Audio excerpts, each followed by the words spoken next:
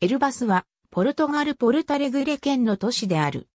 首都、リスボンから東約 230km に位置し、スペインとの国境から約 15km 離れている。エルバスは、グアディアナ川から約 8km 離れた丘の上に、ある町である。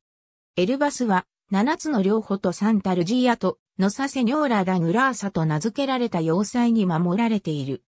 エルバスに残る後期ゴシック建築の聖堂は、ムーア人の建築の影響を受け、マヌエル一世の時代に、ポルトガル王国の領域となった。アモレーラの水道橋と呼ばれる全長約 7km の水道橋はイベリア半島最長であると同時にエルバスの町に水を供給してきた。アモレーラの水道橋の建設は15世紀に始まり、1622年に建設が完了した。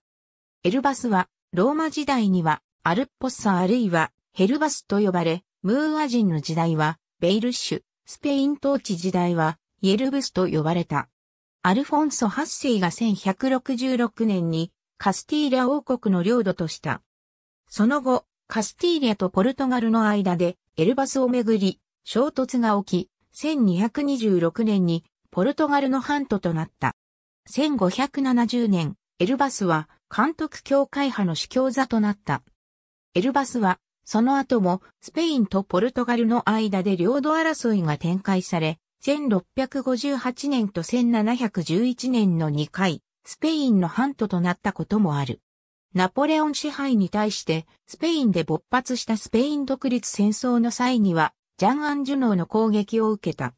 エルバス周辺は、肥沃な土地であり、オリーブやプラムの生産でも有名である。